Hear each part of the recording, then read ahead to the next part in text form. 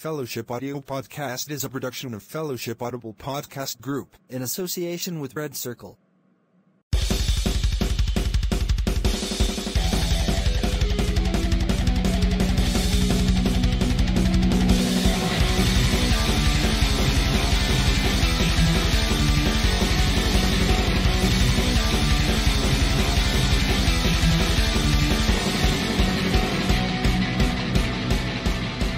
My fellow Singaporeans, this is my first National Day message as Prime Minister. I'm speaking to you from Sri Temasek on the Istana grounds. My office is here for the time being as the main Istana building is undergoing extensive renovation. This is where Mr. Lee Kuan Yew and his family spent the night of August 8, 1965.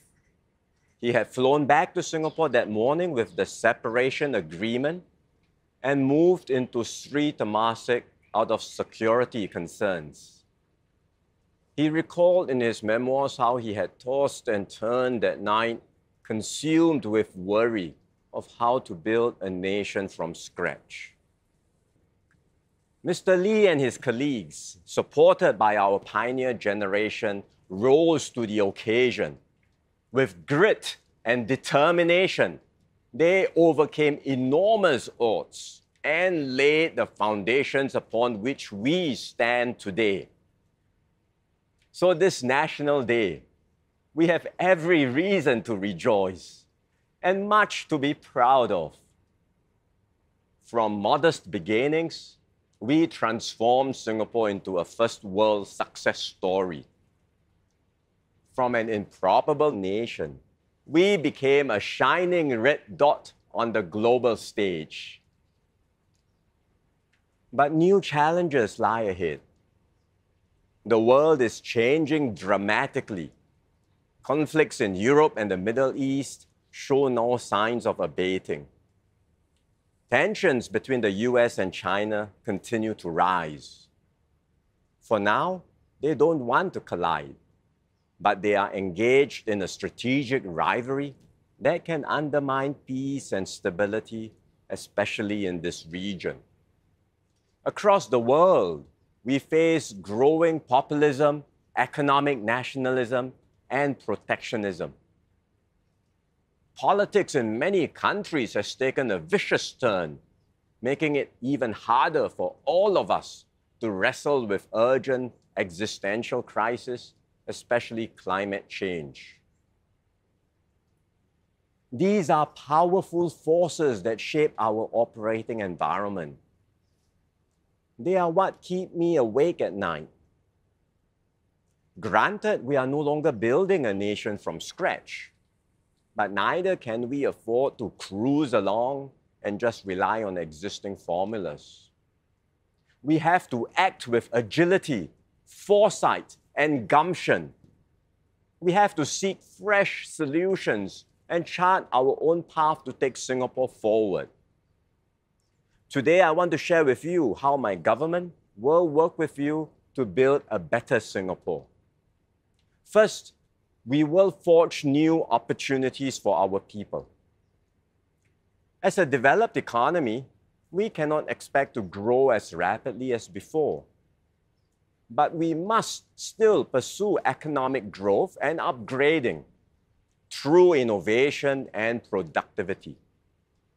That's why we are investing in R&D and new technologies like robotics and AI. And we are undertaking massive infrastructure projects like the Changi Airport Terminal 5 and the Tuas Port to sharpen our competitive edge as a global logistics hub. These strategies are working. In recent weeks, I've met with many CEOs of multinational enterprises. They all express confidence in Singapore.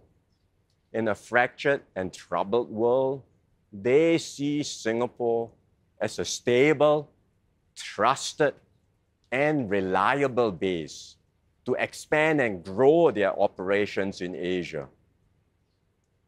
Over the past year, many multinational enterprises across different industries have opened new facilities in Singapore. Pfizer, Hyundai, Global Foundries, Maersk, just to name a few. BioNTech will soon open a mRNA manufacturing facility here, their first such facility in the Asia Pacific. All these investments will propel our economy forward and create new jobs for Singaporeans.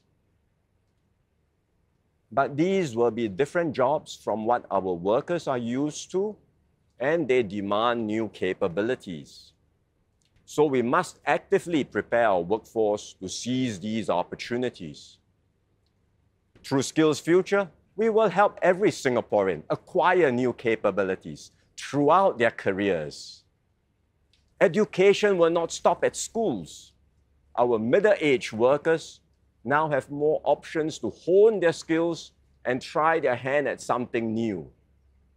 We will work closely with the NTUC and employers to equip every worker for the future economy. Second, we will redouble efforts to keep the cost of living stable. Inflation is a major concern for us, as it is for many other countries. We recognize how rising prices are impacting Singaporeans coping with day to day expenses. We cannot control global prices, but we can and we have shielded Singaporeans from the worst effects of global inflation by keeping the Singapore dollar strong. This year, with higher economic growth, we expect wages to also increase. In the meantime, we will continue to cushion the impact of inflation, especially on the lower and middle income Singaporeans, through support measures like the CDC vouchers, cash payouts, and utilities rebates. In the long term, the key to managing the cost of living is to foster innovation and enhance productivity across our economy. Then we can expect wages to increase by more than inflation and improve the overall quality of life for all Singaporeans. I know many are also concerned about housing affordability. We have imposed additional cooling measures and ramped up the supply of new HDB flats. These steps are helping to stabilize the property market. In October, HDB will launch the first batch of flats under the new Standard, Plus, and Prime framework. Flats in the Plus and Prime areas will now be priced more affordably as they will receive heavier subsidies. But to keep the system fair, the additional subsidies will have to be returned to HDB when the flats are resold later. These innovations in our housing policies reflect our commitment always to be a nation of homeowners. We are determined to keep public housing in Singapore accessible, affordable, and fair for all. Third, we will strengthen our system of social support. Some will be able to adapt to this new environment of rapid change and volatility, but others will find it tougher to keep pace. Our rapidly aging population will also require more healthcare services and social support. More of us will feel sandwiched, having to look after children as well as elderly parents. This is why the government is investing more in our social infrastructure. In the last two budgets, we made several moves to uplift lower wage workers, support vulnerable families, and boost retirement adequacy. We have also embarked on nationwide initiatives like Healthier SG and Age Well SG to take better care of our seniors we intend to do more. With Forward Singapore, we will take further steps to strengthen our social safety nets. We will enhance support for our families and help Singaporeans bounce back stronger from employment setbacks. We have some ideas on how to do so, which I will share at the National Day rally. Even as the government does more, we will also reinforce individual and community efforts. We encourage each person to work hard, make full use of the support available, and strive their utmost to excel in their jobs and uplift their families. Those who do well for themselves should pay it forward and give others a hand. That's how we keep our society cohesive, resilient, and strong. I have shared some of our strategies to navigate this new world. The challenges ahead are formidable. There are no quick and easy solutions, no model answers to refer to. But the bigger the problems, the greater is our resolve to tackle them head on and to turn vulnerabilities into strengths. 59 years ago, we were a third world nation with paltry means, whether to earn a living or to defend ourselves. Today, we are one of the world's busiest sea and airports, most livable cities, and most educated populations.